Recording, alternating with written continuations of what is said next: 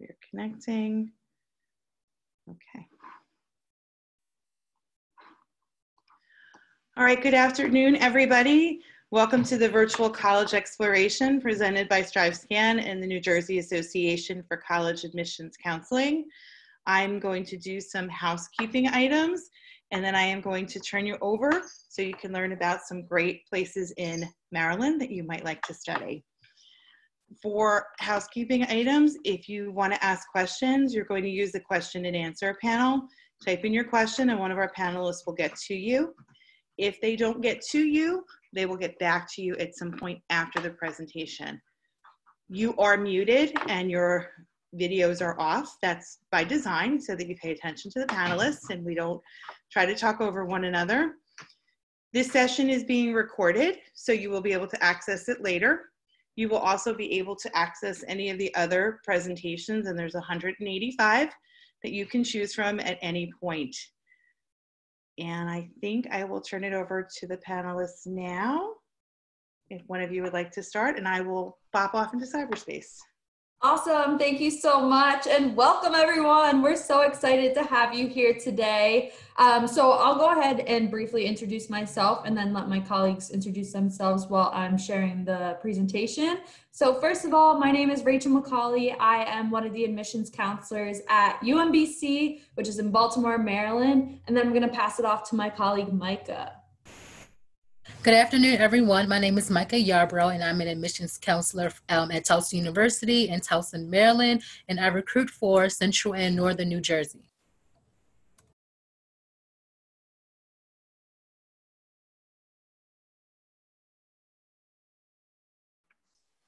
Good afternoon, everyone. Thanks for joining. My name is Megumi Gomio. I am a senior admissions counselor at Stevenson University, and I work with students from Northern and Central New Jersey. Hi guys, my name is Colin. I'm the admissions counselor for Salisbury University, um, and I recruit for the entire state of New Jersey. Yay, that is all of us. So we are just four of many schools in Maryland, and we're so excited to share our various universities with you all today. So let's get started. So we're gonna start with myself, UMBC, that is University of Maryland, Baltimore County. Hopefully, you all have been to the Baltimore area before and have seen the inner harbor of Baltimore with our, our aquarium and various other museums and awesome restaurants. But UMBC is a medium sized public university just outside of Baltimore City. Our colors are black and gold. We are the Chesapeake Bay Retrievers, similar to a golden retriever, friendly, loves community, and very loyal but has a little bit of grit and toughness to us as well. So very similar to a Chesapeake Bay Retriever. Our location, depending on where you're coming from from New Jersey, can be anywhere between two to four hours. So if you're in Northern Jersey, all the way at the top of the state, it can be almost four hours. But if you're a little bit on the southern side of the state, it can take just two hours. So not too close, not too far away. Our undergraduate size is about 11,000 undergraduate students. So really awesome medium size where you can walk around campus, see familiar faces, but you're never gonna know everyone. It also makes our class sizes just about 19 students on average. So we have a student faculty ratio of 19 to one. We also have 61 majors and 55 distinct programs. 70 minors, and 36 certificate programs. So, lots to study at UMBC. We are very passionate about research in all of our 61 majors and all of our programs. So, a lot of hands on opportunities in those smaller classrooms, and those majors can vary from the STEM majors to the arts and humanities and social sciences. We also have 17 Division One NCAA sports teams at UMBC, along with tons of club sports and various performance groups and service clubs and organizations. But a fun fact about our 17 Division One teams, our Division One basketball team made history in 2018. We had one of the biggest wins in men's basketball history, being a 16 seed beating a number one seed. Um, and other fun facts about us we were ranked number nine among the nation's most innovative schools in the 2020 US News and World Report for the best colleges. So that means that we have some really awesome classrooms, really awesome professors, and innovative ways to collaborate with our students and our coursework. So UMBC, great diverse community of students, and hopefully we will be learning more about that soon. Thank you. So I'm going to talk about Towson University. We are located in Towson, Maryland. Um, just like Rachel, we're not too far from Baltimore City. We're about two to four hours from New Jersey. I know it says three, but if you're at the southern in southern New Jersey, like Rachel mentioned, we're about maybe two or two and a half hours. Our colors are also black and gold. Our mascot is Dr. Tiger. Our undergraduate size is around 19,000 students. We're a medium to large school, and our average class size is about 24. Um, we have 60 different majors and 65 different minors for you to choose from. Some of our popular majors include business administration, biology, psychology, nursing, exercise science. So a lot of great things for you to choose from. We have 19 Division One teams. Um, a fun fact about Towson is that the Netflix series, The Haunting Hill House, was actually created by Dan Kaplow, who graduated from Towson University.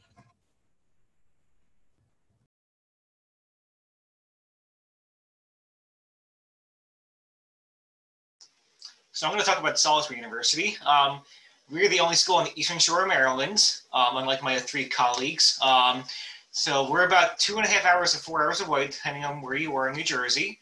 Um, we're about a half hour from Ocean City, Maryland. So if you've been to the Ocean City area before, um, you've probably either passed through Salisbury or not that far away from Salisbury. Um, we are maroon and gold, and our mascot is Sammy the Seagull. Um, with just around 8,000 undergraduate students, um, we're a medium-sized school, not too big and not too small at the same time. Our average class size is 24 students with a 15 to 1 student to faculty ratio. Um, we have 46 majors and 73 minors. Um, most popular majors include business, nursing, um, biology is the biggest major on campus, um, education, and communications. we have 21 Division three teams. Little fun fact about our Division three teams. Um, um, one of our SU alums, um, Dan Quinn of the Atlanta Falcons, is a Salisbury alum and poured a lot of money into a brand new football stadium on campus. Um, and a little, another little fun fact about the school is that uh, our library, um, which is pictured on the screen here, um, was named one of Princeton Review's top 20 in the uh, nation. And it's beautiful and it's my favorite place on campus. All right, so now it's my turn. I'm going to tell you a little bit about Stevenson. Um, so we are located in Owings Mills, Maryland, in Baltimore County. So from New Jersey, that's roughly anywhere from two to three and a half, maybe four hours, depending on traffic. Um, our school colors are green and white, and our mascot is Wild Sang the Mustang, so he's pictured there. Um, we are considered a small university. Our undergraduate enrollment hovers around 2,700, so that makes for smaller average class sizes. About 17 students is what we see. Um, so this is great because it may be similar or even smaller than the classes you're in right now in high school. So your professors are going to get to know you and they're going to get to know you as individuals and be invested um, in seeing you succeed and do well. Um, we have over 90 different majors, minors, and pre-professional tracks to choose from. Um, so our most popular majors include our direct entry nursing program, biology, business administration, criminal justice, and our deciding program, which is for students who are not yet decided in what they want to major in.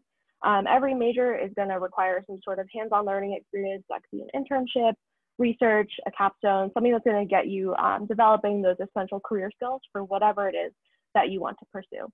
Um, we have 27 Division three um, teams to choose from, including beach volleyball and men's and women's ice hockey.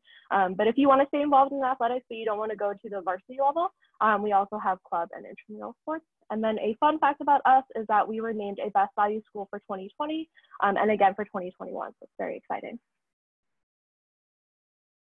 So now that you've learned a little bit about each of our different institutions, we're going to examine a few different reasons why you should keep Maryland in mind when you are exploring your college options. So as you can see on this map, um, the three schools, Stevenson, Towson, and UMBC, are all relatively close to each other. And then we have Salisbury here on the Eastern Shore of Maryland. Um, both myself and Meg are from New Jersey. And we were, uh, I went to Salisbury. I believe Meg went to uh, UMBC, if I'm not mistaken. Um, so we're both alums of uh, Maryland schools. And from my experience, I went to a Maryland school because for me, it wasn't too far away from home, but also uh, not too close at the same time. My parents had to make a day trip to come down and see me. Um, so it wasn't like they can just drive down on, on such short notice to just come and drop in on, drop in on me. Um, I also loved uh, the Maryland weather down here. Um, it's warmer than New Jersey generally, in my experience. Um, there's not as much snow down here either, which is a big plus because I don't like snow. Um, and we're also, there's so much to do in Maryland, and we're going to talk more about that as well as we keep on going. And so I'll talk a little bit about my experience also being from New Jersey. Um, so I grew up in Bergen County, so all the way um, in the northeast corner of the state. Um, and I wanted to go to Maryland because it was far enough away but not too far. Like like Colin said, so my parents could you know make a day trip to come see me. I also had family in the area, so I was a little bit familiar. But I chose to stay in Maryland after I graduated um, because I enjoyed my time here so much. There's a lot of things to do, like just for fun, but also in terms of opportunities for professional development. Um, so I've really enjoyed my time being here, and there's lots of opportunities to take advantage of, and it is overall like a really great place to live. So I'm going to talk about the internship and job opportunities that are in Maryland. Going to school in Maryland provides students with a lot of options for internships and careers, whether you're a business major, an art major, political science major, there are ways for you to grow professionally, which you can see some of on the screen. In the top left, you'll see the Capitol building, which is in Washington, D.C. So that's a place where students can explore different political science, internships, or majors in other companies and organizations. In the bottom left, you'll see Under Armour, which is located in Baltimore. You'll see Northrop Grumman in the middle. On the right, you'll see the African American Museum in DC. So students that are interested maybe in the art major or if they want to work in the museum, they have internship opportunities available there as well. In the top right, You'll see the Maryland General Assembly, which is located in Annapolis, so another place for political science majors or any um, students that are interested in that field. And then in the middle, you'll see MGM, which is in the National Harbor. So there, is, there are a lot of opportunities for you to get that out of the classroom experience and apply what you're learning in the classroom to the real world, regardless of what major you're interested in and regardless of what part of Maryland you're in.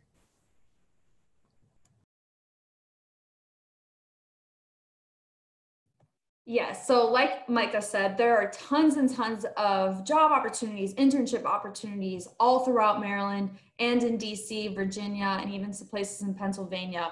Maryland has that benefit. We're a small state. So, even if you have a job that's out of state, it's still drivable depending on where you are. So, these are a couple more job opportunities listed on the screen that are scattered throughout Maryland. So T. Rowe Price, right in the city of Baltimore, Marriott scattered throughout Maryland as a whole, Johns Hopkins Medicine also in Baltimore, and they have locations in DC as well where students can work, Columbia, Maryland. Um, we all have such great locations where we can easily access these job opportunities and internships.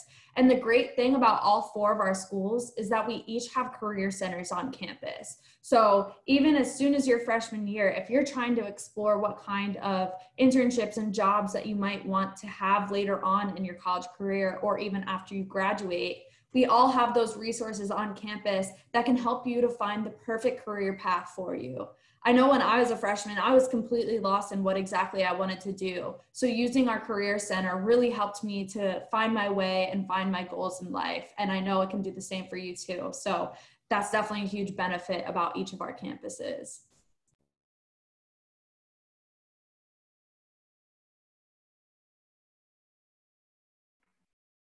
All right, so we all know that environment and setting can play a major role in your college search process, whether you're looking to be in a city setting or maybe a little bit further away from the city or even in a rural sort of setting. Um, no matter the environment that you're looking for, we're confident that you can find it in Maryland. We have a very sort of diverse environment all across the state. Um, so if you're looking to be minutes from a city setting or even right inside the city itself, you can consider Baltimore or um, being near Annapolis or Washington, D.C. Our state's public transit system makes it super easy to get around both in the city itself and also into more suburban areas. Um, so for example, I know at Stevenson, we're about 10 minutes away from a metro stop um, and we run a shuttle service that gets out there um, to make it easy for you to get into the city. Um, and then, like I said, Annapolis is another city you can consider. Um, it's our state's capital. It's pictured in the bottom right corner, so you can see there's lots of historic buildings and waterfront views to explore. Um, there's also countless different picturesque and more like secluded uh, nature areas to explore. Um, so for example, Patapsco Valley State Park, which is that middle top picture, um, has over 14,000 acres of land to explore with hiking trails and waterfalls. Um, personally, it's one of my favorite places to go, like on the weekends. Um, and then in Western Maryland, you can explore um, Deep Creek Lake, which is in the bottom middle, which offers year-round fun like skiing, fishing, tubing, and kayaking. Um, and then if you want to be closer to the beach, you need to keep the Eastern Shore in mind. Um, like Colin mentioned, Ocean City is um, one of the beaches on the Eastern Shore. It's probably our state's most popular beach, um, but there are countless others that you can um, take a look at along the Eastern Shore. Um, and then personally, I really love how much there is to do and explore, like I said earlier, whether it's different outdoor areas to check out or historic areas to look about.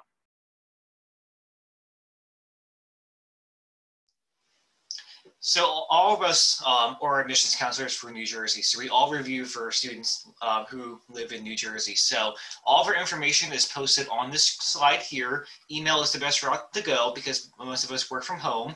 Um, so if you want to shoot us an email, we're all available to assist you in the application process. Um, we also put our links um, for visit opportunities as well.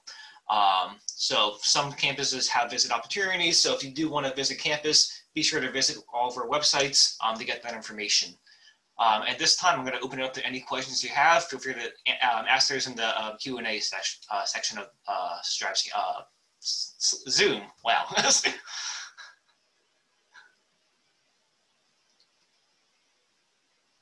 While we're waiting for some questions, I do want to, you know, address the elephant in the room that a lot of seniors, especially, are thinking about this year are we test optional? I know UMBC is, and I think we all are on the on this panel, right? That is a beautiful thing. So if you haven't, if you're a senior and you haven't yet taken the SAT or ACT, that's okay. We can review without them. So just get those questions flowing. Just know that our applications all are test optional.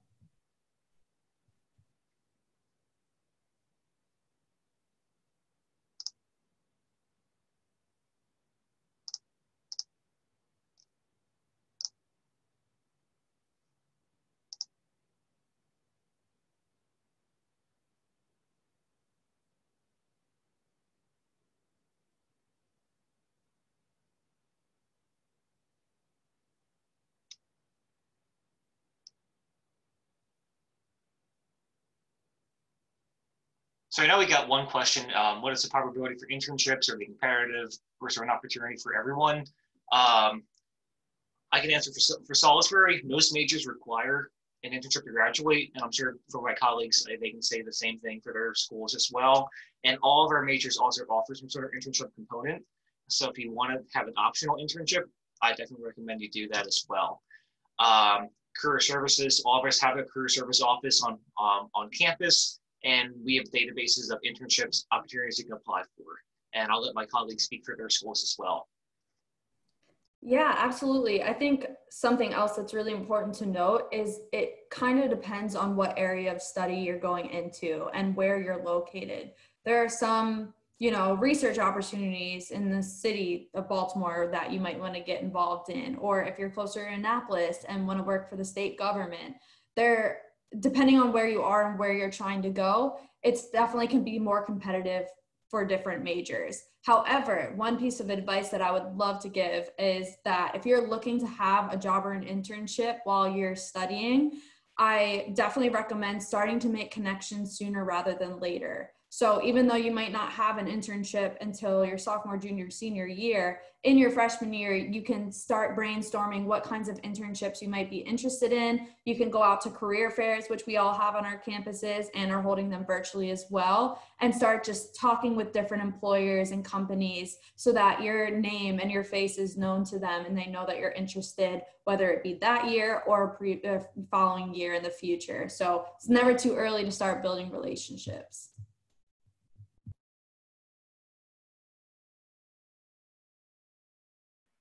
Yeah, I would definitely echo what um, Colin and Rachel have both said about opportunities.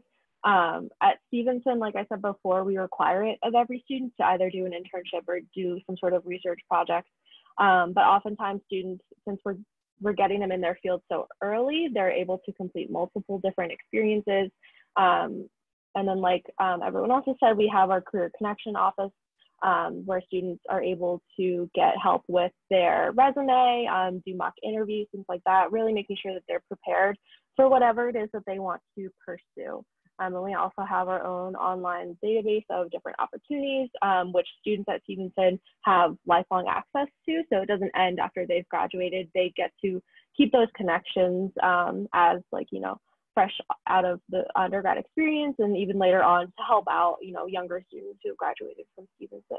Um, so there really is an opportunity for everyone and it is really important to make those connections early on. Um, all of our departments have internship coordinators. Um, voicing what you're interested in doing, I think, is also a really valuable piece of advice. Um, so, for example, we had a marketing student who really wanted to work for the Walt Disney Company, and we had never sent a student to like one of their corporate offices before. Um, but that student was able to network with alumni and is actually able to complete her internship there now. Um, so it is really important to again make those connections um, and put yourself out there, and don't be afraid to put yourself out there. And just to piggyback um, off of what everyone else said, at Towson, not all of our majors require internships, but I definitely encourage you to do so just because you can get that out of the classroom experience.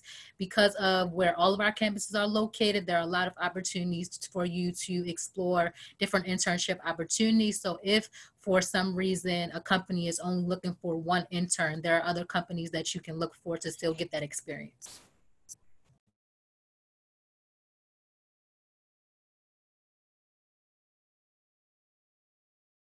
What other questions do you guys have? No question is off limits.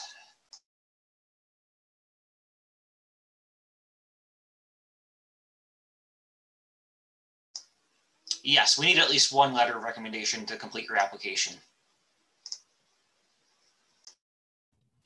Um, at Towson, we don't require letters of recommendation, but you are able to submit up to two letters of recommendation if you want to strengthen your application. I will piggyback off of that because we have the same requirement there. They're actually not required, but we will accept up to two as well at UMBC. And for us, it doesn't have to be from anyone specifically. It can literally be anyone outside of your family. So, teacher, mentor, guidance counselor, coach, anyone who can really speak highly to your work ethic and integrity is who we would love to see letters from. And it is also optional to submit a rec letter at Stevenson. Um, we will take up to three, and it can be um, pretty much from anyone. I would echo what Rachel said someone who can speak to your work ethic and who you are.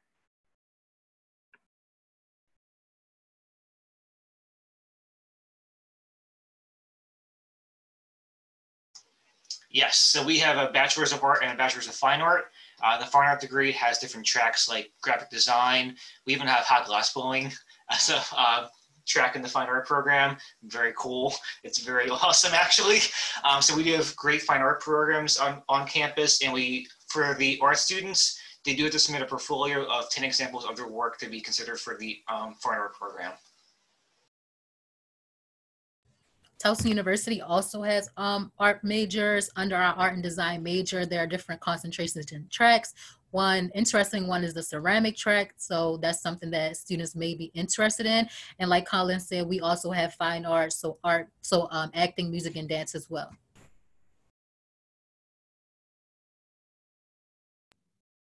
Yes, UMBC also does have various art majors. So when it comes to visual arts, we do have our visual arts major, which offers a BA, so Bachelor of Arts, and a BFA, Bachelor of Fine Arts. Um, and they have concentrations such as animation, graphic design, um, and various other concentrations. But fun fact, we actually have had some students who have gone on to work for Disney's animation programs who are in our visual arts department. So very excited about that. And then we also do have some performing arts majors as well with the BA and the BFA, such as theater, music performance, and music technology, and um, dance as well.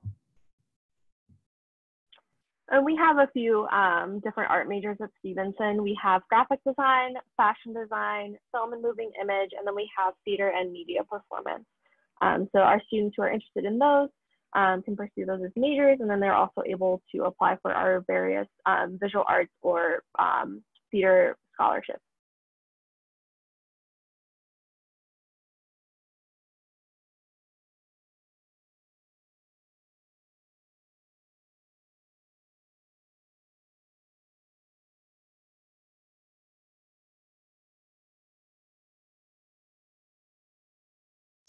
What other questions?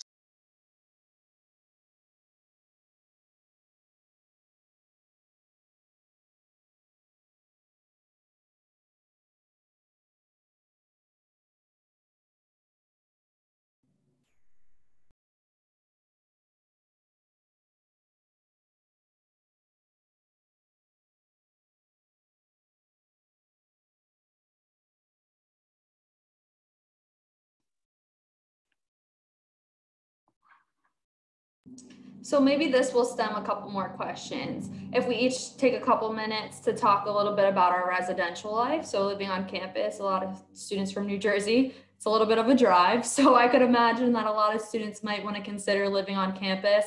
So I can start off with that. At UMBC, we do have several residential halls and several on-campus apartments. So we do guarantee housing all four years. Um, so usually our students will start off in the typical residential halls, which is quad style, where you're, you're living with one other student. Next door, you have two quad mates in one room, and those two rooms are connected by a bathroom. And then you can move up into the apartment buildings as well throughout your time at UMBC. At Salisbury, uh, we also have two different types of housing for incoming freshmen, suite style, which is the same as Rachel said, Jack and Jill style.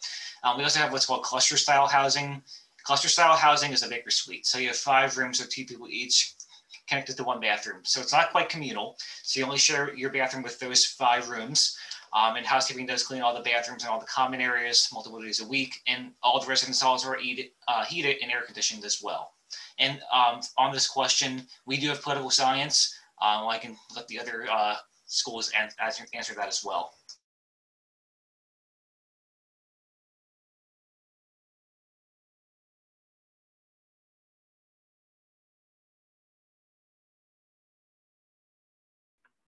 Um, so at Stevenson, we also have suite style housing for incoming students.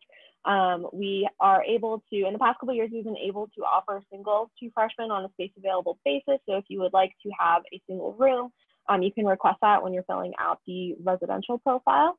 Um, and then in terms of political science, we don't offer a political science major, but we have um, like related sort of fields. Um, so you can check those out on our website. Um, I believe we do have political science. I can't remember off the top of my head, but at Towson we have different um, residential halls that are available for students. As an incoming freshman, you'll stay in one of our residential halls. They can be suite style, hotel style. It kind of just depends on which type of room you are in. And housing is randomly assigned. Once you become an upperclassman, you are able to live in one of our on-campus apartments if you're eligible for housing. Um, but housing is not guaranteed for all four years, only the first two. And to answer that political science question, UMBC does offer political science at UMBC, and believe it or not, there are tons of research opportunities within political science. Um, I actually had a friend who studied or compared the different government systems of a country in Africa compared to the, our country in America. And so they did a bunch of research on that and were able to even travel to Africa for it. So that is really incredible. But not only that, um, being so close to DC and Annapolis, there's some really good internship and job opportunities for our political science majors. So definitely a great option at UMBC. And then we're going to go ahead and lead into that next question about tuition. So at UMBC, out-of-state tuition is about $26,000 a year. And if you choose to live on campus, which most students from New Jersey do, um, that's about another $12,000 per year for room and board. So in total, with tuition and living on campus, after fees, it's a little bit over $40,000 a year. At Salisbury, our tuition with room and board is around $33,000 a year for out-of-staters. Um, for being from New Jersey, students automatically receive what's called the Good Neighbor Scholarship of $6,000 a year off the out-of-state tuition, and that's good for all four years. So it does make the cost more in line with some of the state schools in uh, New Jersey.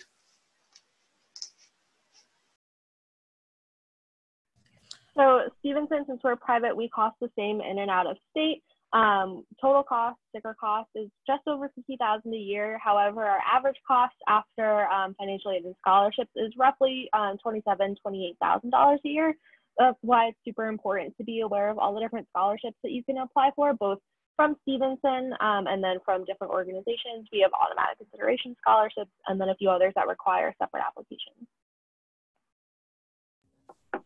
And our tuition and fees and housing and um, meal plan um, are around $35,000.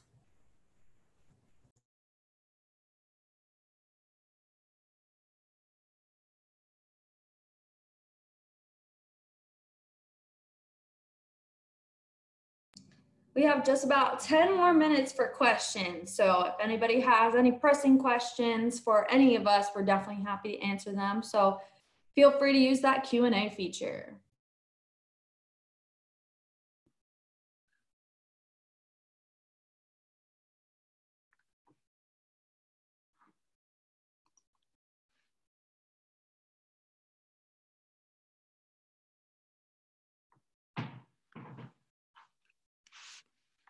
All right, I pop back in. Uh, I don't want to cut anyone off short, but if there's no more questions, I don't want to keep our panelists who have, you know, given their time to us. Um, we are very grateful for the attendees that came today. We are extremely grateful for our Maryland colleges that came and shared so much with us. I know I learned a lot to take back to my students. I didn't introduce myself. I am Dana Lambert. I am a counselor at West Milford Township High School.